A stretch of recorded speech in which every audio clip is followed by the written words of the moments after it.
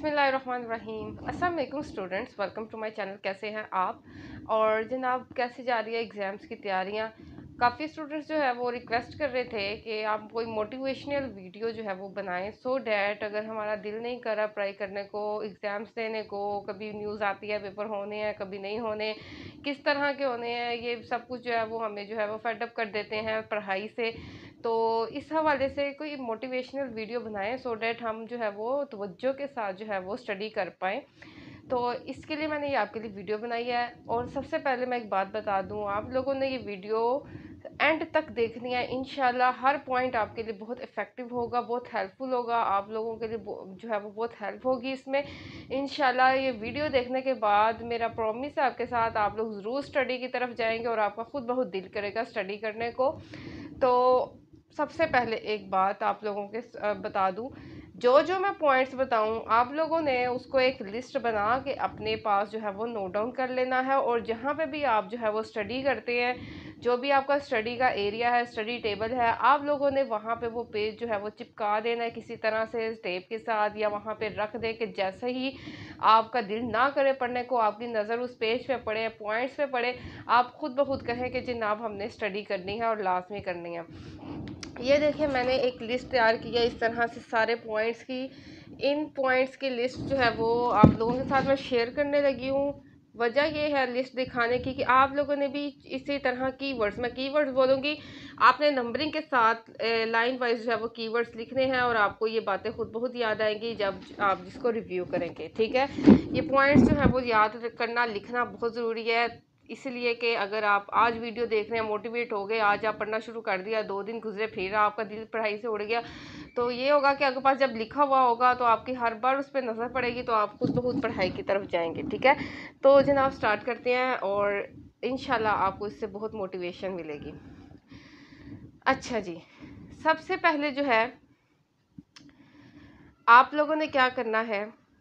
आप लोगों ने सोचना है अपने लिए अपने से आ, अपने बारे में सोचने से पहले आप लोगों ने पेरेंट्स के बारे में सोचना ठीक है? आप लोगों के पेरेंट्स जो है वो किस तरह आप लोगों के लिए स्ट्रगल कर रहे हैं? आप छोटी क्लास में थे कैसे आप लोगों को उन्होंने यहाँ तक पहुँचाया? आप नाइन्थ में हैं, आप टेंथ में हैं, आप एफ़ एस सी कर रहे हैं, आप B A B S C कर रहे हैं, आप जिस भी फ़ील्ड में हैं, जो जिसके भी आपने एग्ज़ाम्स देने हैं, आप ज़रा सोचें, आप यहाँ तक किस वजह से पहुँचे आपने पेरेंट्स की स्ट्रगल की वजह से पहुँचे हैं, आपके पेरेंट्स ने, आपकी मदर ने, आपके फादर ने आपकी फ़ीसेस दिए आपके जो है वो तमाम यहाँ तक पहुँचने से पहले, यहाँ तक पहुँचने तक आपकी जितनी भी ख्वाहिशें थी पूरी की तो आप ज़रा उनके बारे में सोचें। कि आप अगर पढ़ाई नहीं कर रहे, आपका ध्यान नहीं है पढ़ाई की तरफ़, आपका ध्यान इधर उधर है, मोबाइल की तरफ़ या और एक्टिविटीज़ की तरफ़ तो इससे आप ये सोचिए आपके पेरेंट्स कितना हर्ट होंगे। ठीक है, अगर आपका रिज़ल्ट इस पर स्टडी ना करने की वजह से रिज़ल्ट ख़राब आया तो आप ये सोचिए कि आपके पेरेंट्स के दिल पर क्या असर होगा? क्या उनकी जो है, उनकी आपके हवाले से जो उम्मीदें हैं, उन पर पानी फिर जाएगा, ठीक है? तो ज़रा पेरेंट्स के लिए सोचिए, अगर आप पेरेंट्स से सच्ची मोहब्बत करते हैं तो प्लीज़ उनके लिए पढ़िए। उनके लिए थोड़ी देर कुछ अर्सा है एक महीना है उनके लिए स्टडी करें अच्छे मार्क्स लें सो डैट आप उनका प्राउड बन सके ना कि आपकी वजह से हर जगह शर्मिंदा होते फिरें कि फला इसके बच्चे के इतने नंबर आए इस इसका बच्चा फेल हो गया या इसका बच्चा इत, इतने नंबर ले सकता था पर नहीं ले पाया। आप उनका प्राउड बने उनका उनके लिए एम्बेरसमेंट मत बने ठीक है? तो आपने पहला पॉइंट लिख देना पेरेंट्स ठीक है? पेरेंट्स से आपको याद आएगा कि आपने अपने पेरेंट्स को ख्याल, का ख्याल जेन में रखना है कि मेरे पेरेंट्स बहुत इंपॉर्टेंट है। उनके लिए मैंने पढ़ना है स्टडी करनी है और अच्छे मार्क्स लेने हैं, ठीक है? उनके ख्वाब पूरे करने हैं। उन्होंने आपके हवाले से जो ख्वाब देखे कि ये मेरा बेटा या बेटी इंजीनियर बनेगा, डॉक्टर बनेगा, आर्मी ऑफिसर बनेगा, पायलट बनेगा, जो भी उससे रिलेटिव आपके ख्वाब है पेरेंट्स के तो उनको पूरा कीजिए। कम अज़ कम पूरा नहीं कर सकते तो एटलीस्ट एग्ज़ाम्स में अच्छे मार्क्स तो लें, जिससे उनका हौसला तो बढ़े कि चलो मेरे बच्चे ने मार्क्स अच्छे लिए हैं स्ट्रगल किया है मेरे लिए, ठीक है? तो पेरेंट्स का पॉइंट लिखे, ये सबसे पहला और इम्पोर्टेंट पॉइंट है जिसके लिए आपने स्टडी करनी है, ठीक है? पहला इम्पोर्टेंट पॉइंट मेरे लिए, मेरी नज़र में भी पेरेंट्स ही है, ठीक है? अच्छा जी नंबर टू नंबर टू पे आप लिख दीजिए क्लास फेलोज़ टीचर्स रिलेटिव्स ये चार ये जो है वो तीन आप लोगों ने फ्रेंड्स ये चार जो है वो आपने एक लिस्ट में लिख लेने हैं. नंबर वन पे पेरेंट्स आ गए नंबर टू पे ये चार लोग, ठीक है? रिलेटिव्स रिलेटिव्स से आपको क्या समझ आती है?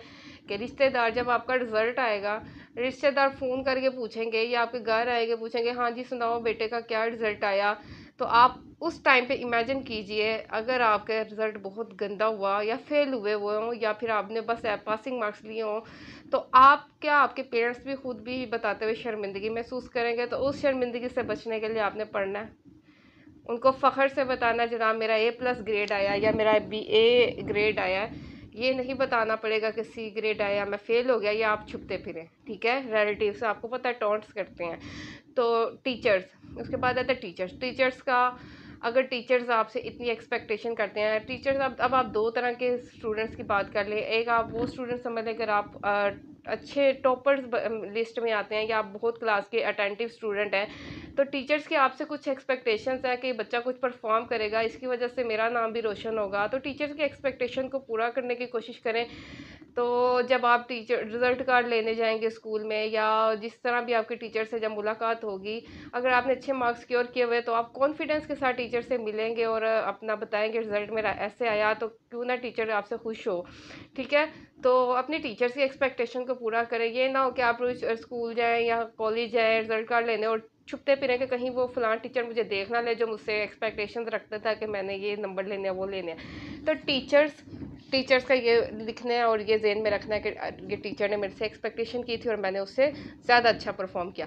दूसरा अगर आप न्यू स्टूडेंट थे क्लास में टीचर आपको हर बार टोंट करता था या ये कि ये इसने पास भी नहीं होना इसने इतने नंबर लेने हैं क्लास के सामने क्लास में आपके सा, से इंसल्ट करते हैं कुछ होते हैं टीचर्स टोंट करते हैं इंसल्ट करते हैं सारे बच्चों के सामने तो आपने उनको प्रूफ करके दिखाना है कि ये देखो कि मैंने कितने अच्छे मार्क्स लिए हैं मैंने स्टडी किया और ये इस लेवल तक आ गया हूँ पीछे नहीं रहा ठीक है? तो टीचर्स का भी पॉइंट लिखना है। इसके बाद क्लास फेलोस क्लास फेलोस भी का पॉइंट भी बहुत इंपॉर्टेंट है जनाब। क्लास फेलोस में आपको पता है कंपटीशन होता है बच्चों में। बच्चे एक दूसरे से आगे निकलने की कोशिश करते हैं। तो आप अपने, अगर आप लाइक स्टूडेंट है क्लास के तो आपने अपने जेन में उन बच्चों के नाम रखने हैं जो आपके कॉम्पिटिटिव हैं, जो आपके मुकाबले वाले बच्चे हैं, जो, कि ये भी आपसे आगे नंबर ले सकता है। तो आपने उसका दिमाग, जेन में रखना है कि मैंने इनसे ज़्यादा अच्छे मार्क्स लेने हैं, इनसे आगे निकलना है और प्रूफ करना है कि मैं इनसे ज़्यादा बेहतर था, ठीक है? तो क्योंकि टीचर की दो तीन बच्चों पर नज़र होती है कि बच्चे अच्छा परफॉर्म करेंगे तो आपने उनसे आगे निकलना है अगर आप अच्छे और लाइक स्टूडेंट हैं। अगर आप नील स्टूडेंट हैं एवरेज हैं बिलो द एवरेज हैं, तब भी आपने अपने अपने मुकाबले वाले स्टूडेंट्स देखना है कि ये मुझसे ज़रा मुझसे ज़रा थोड़ा सा अच्छा स्टूडेंट है या मुझसे थोड़ा सा कम लेवल का स्टूडेंट है तो मैंने इससे आगे जाना है, अच्छे मार्क्स लेने हैं, अच्छे रैंक में आना है। तो क्लास फेलोज़ का जेन में रखिए, क्योंकि क्लास फेलोज़ के, का भी जो है वो कॉन्सेप्ट बड़ा अच्छा होता है मोटिवेशन के लिए कि जनाब कंपेरिज़न जो है वो बहुत मैटर करता है। जहाँ कंपैरिजन हो, वो चैलेंज हो, वहाँ पे स्टूडेंट्स जो है वो स्टडी करते हैं। अच्छा जी, और उसके बाद जो जाते हैं फ्रेंड्स फ्रेंड्स अगर आपके अपने क्लास फेलोज़ भी है या अदर देन क्लास फेलोज़ है कज़न्स की बात कर लें तो आपने एम्बेरसमेंट होती है जनाब जब आपसे, आपके फ्रेंड्स आपसे पूछे हाँ सुनाओ बंदे, बच्चे, क्या आप हाँ सुना जी जिस तरह भी आप एक दूसरे को मुखातिब करते हैं, जनाब, सुनाओ, क्या रिज़ल्ट आया तुम्हारा? कितने नंबर लिए हैं? आपके आपके एज फेलोज़ हैं या आपके क्लास के में ही पढ़ते हैं या आपसे आगे पीछे हैं क्लास में? तो जनाब एम्बेरसमेंट से बचने के लिए आपने अच्छा पढ़ना है अच्छा परफॉर्म करना है और उनको कॉन्फिडेंस से बताना है, जनाब ये देखो मैं इतने नंबर लिए हैं, मैंने इतने इतने दिनों में स्टडी करके ये मार्क्स ले गया हूँ, ठीक है? तो फ्रेंड्स एम्बेरसमेंट जो है वो आपने उससे अवॉइड करना है। तो पहला पॉइंट पेरेंट्स दूसरा पॉइंट आ गया, एक ही लाइन में आपने लिखना है क्लास फेलोज फ्रेंड्स टीचर्स और रिलेटिव्स या कजन्स ठीक है? तो ये जब आप पॉइंट्स देखेंगे, आप खुद ब खुद कहेंगे, नहीं नहीं, मैंने स्टडी करनी है, मैंने एम्बेरसमेंट से बचना है और अपने पेरेंट्स के ड्रीम को पूरा करना है। ठीक है? और इसके बाद थर्ड पॉइंट पे आते हैं, आपने लिखना है माई ड्रीम ठीक है? आपका ड्रीम क्या है? आप, आपने कुछ तो सोचा होगा, सर छोड़ दें आपकी क्या तैयारी है? आप ज़ीरो परसेंट पे या टेन परसेंट पे या नाइन्टी परसेंट पे छोड़ दें। आप एक मिनट के लिए इमेजिन करें, आपके अपना ख्वाब क्या है? आप क्या बनना चाह रहे हैं? आपने अपना सोचा हुआ कि मैंने डॉक्टर बनना है, मैंने पायलट बनना है, मैंने इंजीनियर बनना है, मैंने प्रोफेसर बनना है टीचर बनना है, जिस भी फ़ील्ड में जाना कुछ तो आपने सोचा होगा। तो जनाब उस ख्वाब को ज़रा जेन में रख के थोड़ी सी मेहनत करें, थोड़ी सी स्ट्रगल करें। एक माह है या डेढ़ माह है या एक माह से भी कम टाइम है तो आप उसको ख्वाब को जहन में रखें कि मेरा ये सिर्फ़ एक माह मैं थोड़ी सी मेहनत कर लूँ थोड़ी सी स्टडी कर लूँ, टाइम निकाल लूँ तो इन मेरा ख्वाब पूरा होने में दूरी नहीं है, ठीक है? तो अपने ड्रीम को जहन में रखें। अगर आपने इस माह में मेहनत ना की, ये टाइम गुजर गया पेपर में, आपने अच्छा परफॉर्म ना किया तो आपके ख्वाब का क्या बनेगा? आप किस लेवल पे होंगे? आप ये सोचिए। तो अगर आप अच्छी पोस्ट पे लगना चाहते हैं अच्छा फ्यूचर अपना ब्राइट चाहते हैं तो आप प्लीज़ मेहनत करो। पॉइंट ये लाजमी लिखो माई ड्रीम माई ड्रीम बहुत इंपॉर्टेंट पॉइंट है, इसे देख के आपको खुद बहुत मोटिवेशन मिलेगी कि मैंने अपना ख्वाब जो है वो ज़रूर पूरा करना है, ठीक है? अच्छा ये मैं, ये मेरे अपने पर्सनल ट्रिक्स हैं, मैं भी ऐसे ही करती थी। जब भी एग्ज़ाम्स मेरे पास होते थे, आसपास तो मेरा दिमाग घूमता था कि मैंने काम नहीं करना, या कुछ मतलब होता है रुझान जो है इधर उधर हो जाता है स्टडी से हट के तो फिर मैं ये पॉइंट्स लिख के रखती थी। ये सारे पॉइंट्स के, ये ये इनको देख के मुझे थोड़ी सी मोटिवेशन मिलती थी कि नहीं नहीं नहीं नहीं मैंने पढ़ना है। बस थोड़ा सा टाइम है, इतना टाइम मैं गुजार लूँ, मैं पढ़ना फिर फ्री ही हूँ, ठीक है? तो इस अलहमदिल्ला इससे फिर मैं काफ़ी मोटिवेट होती थी। अच्छा फोर्थ पॉइंट पे आपने लिखना है डिग्री या रिज़ल्ट अब देखें डिग्री रिज़ल्ट से आपको क्या मिलेगा? डिग्री ये जहन में रखें, जैसे ही आपका रिज़ल्ट आ गया, आपने पढ़ा, नहीं पढ़ा, जो भी आपका रिज़ल्ट आया, वो एक डिग्री जो है, जो आपका रिज़ल्ट कार्ड है, उसमें फ़िक्स हो जाएगा। वो वही रहेगा लाइफ टाइम बिल्कुल चेंज नहीं होगा। तो अच्छा हुआ तो बहुत अच्छी बात है, बुरा हुआ तो फिर वो लाइफ टाइम आपके साथ चलेगा। आपको हर बार, हर जगह एम्बेरसमेंट होगी इसकी वजह से कि आपसे कोई पूछेगा, जनाब आपके मैट्रिक में कितने मार्क्स थे? जनाब, अगर फॉर एग्ज़ाम्पल आप कहीं पे जॉब के लिए अप्लाई करते हैं, कहीं इंटरव्यू के लिए जाते हैं, आपसे इस क्लास के या जो भी आप जिस भी लेवल में हैं इस टाइम उसकी डिग्री या रिज़ल्ट मांगे तो आप देते हुए फ़ख्र महसूस करें कि मेरा ए प्लस ग्रेड है, या ए ग्रेड है, फ़ख्र से बताएँ, ना कि आप छुपाते फिरे, शर्मिंदा होंगे। इसमें तो मैं सपली थी, इसमें तो मेरे मार्क्स इतने कम थे, मैं मुश्किल से ही पास हुआ हूँ। तो वो डिग्री और रिज़ल्ट कार्ड आपने अच्छा बनाना है, अपनी मेहनत से उसको लो द एवरेज नहीं लेके जाना या फेलियर की तरफ़ नहीं जाना, आपकी आपकी मेरिट पे बहुत फ़र्क डालेगा।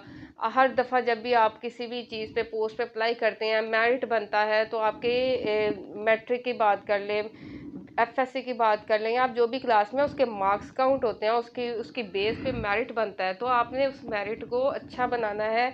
स्टडी करें, पढ़ें, अच्छे मार्क्स लें और आपकी डिग्री में अच्छे मार्क्स लिखे जाए, ना कि बुरे ठीक है? तो ये आप पॉइंट लिख लें।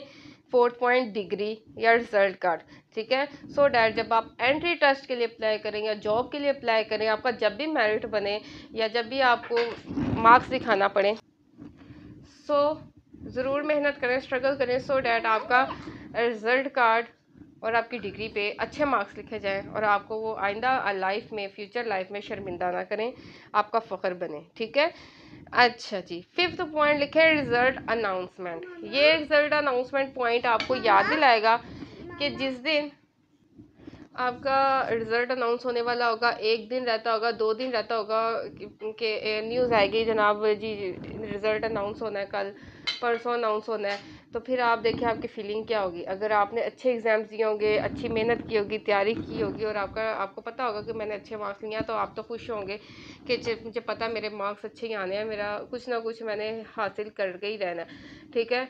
पोजीशन नहीं तो मेरा ए प्लस ग्रेड या ए ग्रेड लाजमी आना है, अगर आपने मेहनत की होगी, पढ़ाई की होगी। लेकिन एक मिनट के लिए सोचें, अगर आपने बिल्कुल पढ़ाई नहीं की हुई ज़ीरो पे आपने टेस्ट दिए हैं और ज़ीरो बेसिस पे ज़ीरो परसेंट या टेन परसेंट बेसिस पे आप पेपर दे के आ गए हैं तो उस वक्त आपकी क्या फीलिंग होगी जब आपको पता होगा कि जनाब, कल मेरा रिज़ल्ट अनाउंस होना है।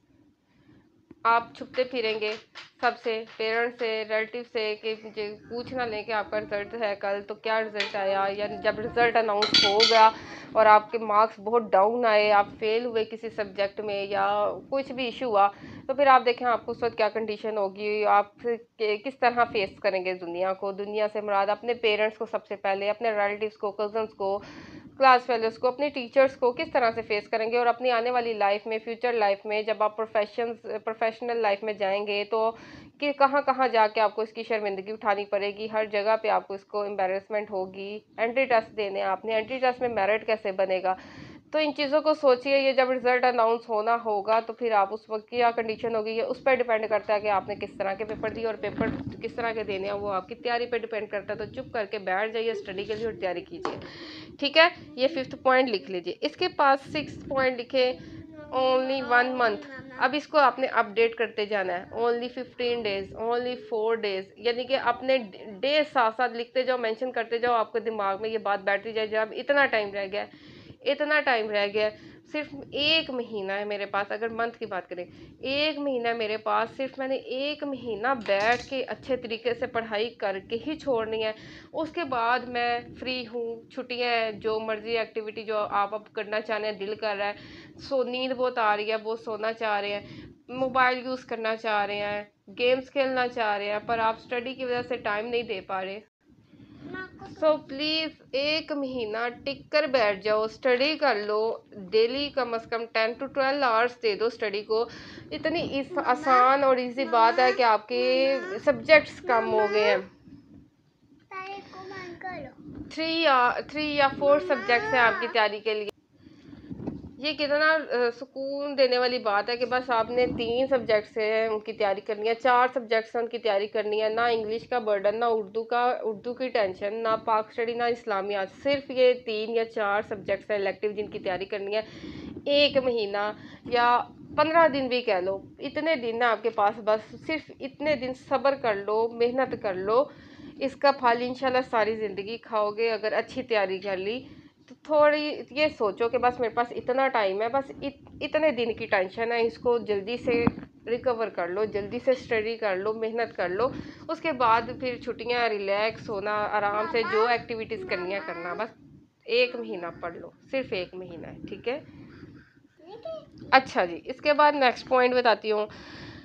सेवन्थ सिक्योर योर फ्यूचर ठीक है? माई फ्यूचर इसका पॉइंट लिख ले माई फ्यूचर जनाब फ्यूचर के बारे में सोचो। फ्यूचर में अब आ जाता है सबसे पहले आपकी स्टडी जब फॉर एग्ज़ाम्पल अगर मैट्रिक में या एफएससी में जा रहे हैं एफएससी में या बीए बीएससी करने जा रहे हैं बीए बीएससी कर ली मास्टर करने जा रहे हैं, या आप नेक्स्ट फिर फिर प्रोफेशनल लाइफ ज्वाइन करना जा रहे हैं, करने जा रहे हैं तो ज़रा उसके बारे में सोचें। अगर आपने एंट्री टेस्ट देना है, आपके मार्क्स बहुत डाउन चले गए, आपका मेरिट ना मेरिट बना, नाम ना आया तो ये सब सोचें आपका फ्यूचर कितना इम्प्रेस होगा इस चीज़ से। फ्यूचर कितना जो है वो ख़राब हो जाएगा। आपने डॉक्टर बनना होगा, आपका एंट्री टेस्ट में मार्क्स मेरिट ना बन पाया फिर आप कैसे फर्दर प्रोसीड करोगे? आपने प्रोफेशनल लाइफ में जाना है, या आपने किसी कॉलेज में एडमिशन लेना है, आपके मेरिट नहीं बना, आप जिस अच्छे कॉलेज में एडमिशन हो लेना चाह रहे हैं मेरिट की बेस पे आपका एडमिशन ही नहीं हुआ। तो फिर क्या फ़ायदा जनाब? एक महीना आपने बस अपनी तवज्जो ना दी स्टडी पे और आपका फ्यूचर जो है ख़राब हो गया उसकी वजह से सिर्फ़ एक महीना और पूरी ज़िंदगी। तो कितना फ़र्क पड़ेगा जनाब? सिर्फ़ अपने इस फ्यूचर के बारे में सोचें।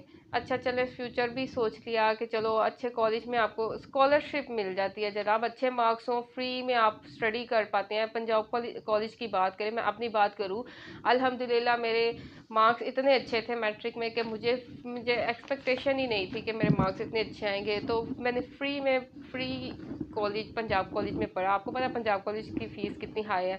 अल्हम्दुलिल्लाह स्कॉलरशिप बेस पे पढ़ा। सिर्फ़ टेन रुपीज़ फ़ीस देती रही हूँ। उसके बाद B A B B S C double math start किया। वो भी मैंने फ्री किया स्कॉलरशिप की बेस पे। तो ये देखिए, ये चीज़ें कितनी मैटर करती है। अगर आप आप या आपके पेरेंट्स जो है फ़ीस नहीं पे कर पा रहे आपकी अच्छे कॉलेज की जो है वो एडमिशन के लिए तो आपने अच्छी स्टडी कर ली, अच्छे मार्क्स ले लिए, आपका फ्री में एडमिशन हो जाएगा स्कॉलरशिप मिलेगी गवर्नमेंट की तरफ़ से स्कॉलरशिप मिलेगी। ये सब बातें सोचिए फ्यूचर सिक्योर कीजिए। और अगर फ़नी वे में अगर बात करूँ तो आप जब फ्यूचर में आप, आपकी मैरिटल लाइफ आएगी, आप अगर अगर आप बॉय हैं तो सुन रहे हैं आपके बच्चे होंगे आपकी बीवी होगी तो उनका फ्यूचर सिक्योर करने के लिए आपकी एक अच्छी पोस्ट होनी चाहिए आपकी अच्छी जॉब होनी चाहिए तभी आप जो है वो उनकी ख्वाहिशात को पूरा कर पाएँगे। हाँ जी तो देखिए जी फिर बच्चों की भी ख्वाहिश होती हैं। आप उनके बारे में भी सोचिए ना इंशाल्लाह अपकमिंग लाइफ में आपने शादी भी करनी है फिर अपने बीवी बच्चों को भी सपोर्ट करना है उनकी ख्वाहिशात को पूरा करना है तो आप कैसे मैनेज कर पाएँगे? अगर आपका फ्यूचर सिक्योर होगा, आप आपकी पोस्ट अच्छी होगी तो सब कुछ अच्छा हो जाएगा। और अगर आपकी फ्यूचर सिक्योर ना हो पाए आपका, आपकी जो है वो पोस्ट अच्छी लेवल की ना हुई, आप किसी लेबरिंग पे आ गए या कुछ और मेहनत वाले काम पे आ गए, ऑर्डर देने के बजाय लोग आपको ऑर्डर दें, आप बजाय किसी को हुक्म दें लोग आपको ऊपर हुक्म चलाएँ इस बेस पे कि आपकी पोस्ट नहीं अच्छी तो आप सोचें आपकी क्या फीलिंग्स होगी। तो अगर लोगों पे ऑर्डर चलाना है, अच्छी पोस्ट पे जाना है तो मेहनत करो जनाब, पढ़ो सिर्फ़ एक महीना। और एक और फ़नी बात करूँ, अगर जब आपके बच्चे होंगे, अगर फीमेल्स भी देख रही हैं मेल्स दोनों के लिए बात कर रही हूँ, आजकल फीमेल्स भी जो है जॉब्स करती हैं तो उनके लिए भी ये सारी प्रॉब्लम्स आएँगी। तो जब कल को आपके बच्चे जो है आप आप बच्चों पे फोकस करेंगे पढ़ाई करो स्टडी करो आप भी नेचुरली उन्हें कहेंगे कुछ बनो। तो जब वो आपसे पूछेंगे मामा या पापा आपके जो है वो इस क्लास में कितने मार्क्स है? आप मुझे इस क्लास में स्टडी करने को कह रहे हैं। आप बताओ आपके कितने मार्क्स है? तो आप किस तरह बताएँगे अगर आपके मार्क्स अच्छे ना हुए आप फेल हुए हों या बहुत लो एवरेज मार्क्स हों? तो आप खुद फील करें आप उस वक्त क्या शर्मिंदगी महसूस करेंगे? बच्चे कहेंगे खुद तो आप पढ़े नहीं हैं और हमें जो है वो फोकस करवा रहे हैं स्टडी पे। तो फिर ये सब बातें सोचें और पढ़ ले जनाब, पढ़ ले।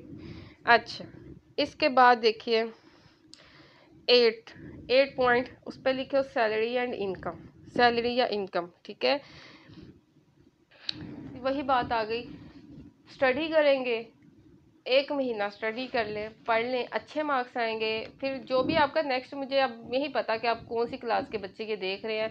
मैट्रिक के स्टूडेंट्स देख रहे हैं कॉलेज लेवल स्टूडेंट्स देख रहे हैं या बैचलर के स्टूडेंट्स देख रहे हैं या मास्टर लेवल के स्टूडेंट देख रहे हैं, वो उस हिसाब से नेक्स्ट फ़ील्ड के बारे में सोचें, वो किस नेक्स्ट फ़ील्ड में मूव कर रहे हैं, वो स्कूल से कॉलेज शिफ्ट हो रहे हैं कॉलेज से यूनिवर्सिटी शिफ्ट हो रहे हैं यूनिवर्सिटी से प्रोफेशनल लाइफ में जा रहे हैं या प्रोफेशनल लाइफ से मैरिटल लाइफ में जा रहे हैं, उस हवाले से सोचिए। तो फ्यूचर सिक्योर कीजिए अपना और फिर सोचिए कि आपकी अगर आपकी पोस्ट स्टडी अच्छी होने की वजह से मार्क्स अच्छे होने की वजह से। आपकी सैलरी और इनकम जो है आपकी अच्छी होगी स्ट्रॉन्ग होगी तो आपके लिए आप खुद सोचिए आजकल जिस तरह महँगाई है, जिस तरह से हर बंदा रो रहा है महँगाई के हवाले से, आप खुद देख लीजिए। आने वाले वक्तों में क्या वैल्यू रह जाएगी पैसों की? तो अगर आपकी हैंडसम सैलरी होगी तो महँगाई आपको कुछ नहीं कहेगी। आप अच्छे पोस्ट पे होंगे तो महँगाई आपको कुछ नहीं कहेगी। आप डॉक्टर होंगे, इंजीनियर होंगे, पायलट होंगे, जो भी अच्छी पोस्ट में होंगे तो आपके लिए महँगाई कुछ भी नहीं होगी। इंशाल्लाह आप अच्छे अच्छा कमाएँगे अच्छा खिलाएँगे अपने फ्यूच, अपने बच्चों को, अपनी वाइफ को या अपने हस्बैंड है अपने लिए गर्ल्स जो हैं वो अपने आप को सपोर्ट करती हैं। तो सब कुछ देखना अच्छा हो जाएगा। सिर्फ़ एक इस वजह से कि अगर आपके ये जो रिलेटिव जो आप डिग्री है, जो आप पढ़ रहे हैं, उसकी डिग्री में डिग्री अच्छी आ जाएगी मार्क्स अच्छे आ जाएँगे तो। तो इन सब पॉइंट्स को आपने एक जगह पे लिखना है, एक अपनी वॉल पे जहाँ पे आप पढ़ते हैं, जो आपका स्टडी टेबल है स्टडी टेबल नहीं जो भी आपका एरिया है पढ़ने का वहाँ पे इसको पोस्ट कर दें, उसको लगा दें। इस तरह आप कीवर्ड्स में लिखें कि कोई समझ ही नहीं पाएगा। आपने पहला लिख देना पेरेंट्स मैं आपको दोबारा बता देती हूँ। नंबर वन पे लिखो पेरेंट्स नंबर टू पे लिखो class fellows teachers relatives and friends number three पे लिखो माय ड्रीम नंबर फोर पे लिखो डिग्री और रिज़ल्ट कार्ड नंबर फाइव पे लिखो रिज़ल्ट अनाउंसमेंट नंबर सिक्स पे लिखो ओनली वन मंथ या जितने भी दिन रहते हैं कि इतने दिन में आपने आपको तसली दो कि बस इतने दिन है, मैंने इतने दिन बस स्ट्रगल करनी है, उसके बाद मैं आज़ाद हूँ। ठीक है सेवन पे लिखो माई फ्यूच सिक्योर माई फ्यूचर ठीक है? एट्थ पे लिखो, salary, handsome salary handsome salary या गुड पोस्ट, ठीक है? और मुझे बताओ, क्या ये पॉइंट्स जो हैं इम्पोर्टेंट है या मोटिवेशन के लिए? ये आप पॉइंट्स लिख के एक जगह पे पेस्ट कर लो, जहाँ पे आप स्टडी करते हो। जब भी आपका दिमाग जो है वो इस फोकस ना कर रहा हो स्टडी पे आपका दिल ना कर रहा हो स्टडी पे आप स्टडी टेबल के पास जाने से भी घबरा रहे हो तो बस एक नज़र उनको देख लो। आपका खुद दिल करेगा पढ़ने को इंशाल्लाह, अगर आपको अगर आप सेंसिटिव हैं, इन बातों को समझते हैं, आप में समझने की हिस्सा है तो इंशाल्लाह आप खुद स्टडी की तरफ़ भाग भाग कर आओगे और अच्छे मार्क्स इंशाल्लाह इस बेस पे अच्छे मार्क्स लोगे। अगर आप ज़ीरो पे हो, आप एटलीस्ट फिफ्टी परसेंट पे जाओगे। फिफ्टी परसेंट पे हो और हमदुल्ला हंड्रेड परसेंट पे जाओगे। और अगर आपकी तैयारी एटी नाइन्टी परसेंट है तो फिर तो आप टॉपर ज़रूर होगे। तो इन बातों को सोचिए, इन बातों को नोट कीजिए, इन बातों को रोज़ देखिए। जब स्टडी से दिल उठ जाए तो ज़रूर इनको देखिए इन आपके मार्क्स अच्छे आएँगे और प्लीज़ अगर मेरी वीडियो अच्छी लगी है, मेरी बातें अच्छी लगी हैं, मेरे पॉइंट्स इंपॉर्टेंट लगे हैं मोटिवेशन के लिए तो ज़रूर चैनल को सब्सक्राइब कर दो। अपने, उन क्लास फेलोज़ और अपने तमाम जो आपके चाहने वाले, अगर आप पेरेंट्स हैं, आप टीचर हैं, अपने स्टूडेंट्स के साथ शेयर करें। और अगर आप स्टूडेंट हैं तो अपने अपने बहन भाइयों या अपने कज़न्स, अपने क्लास फेलोज़, उन सबके साथ शेयर करें जो, जिनके लिए आप अच्छा चाहते हैं या आपके जानने वाले, जिनके भी पेपर्स होने वाले हैं। तो उनके लिए जो है बहुत अच्छा होगा, वो कम अज़ कम आपकी वजह से वो पढ़ पाएँगे और अपना फ्यूचर सिक्योर कर पाएँगे।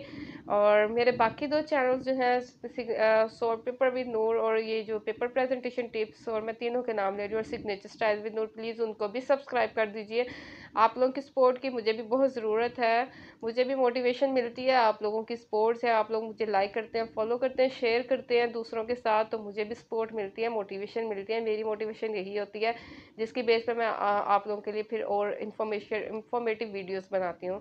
तो सपोर्ट कीजिए शेयर कर दीजिए, अपना ख्याल रखिए और नेक्स्ट वीडियो बताइए कि आपको इस वक्त कौन सी वीडियो की ज़रूरत है, कौन से टॉपिक की ज़रूरत है तो मैं ज़रूर बनाऊँगी और इंशाल्लाह नेक्स्ट टॉपिक जो है मेरा यही होगा कि चैप्टर वाइज स्टडी इफ़ेक्टिवली कैसे करनी है ठीक है तो ज़रूर देखिएगा। आप ख्याल रखिएगा। अल्लाह हाफिज़।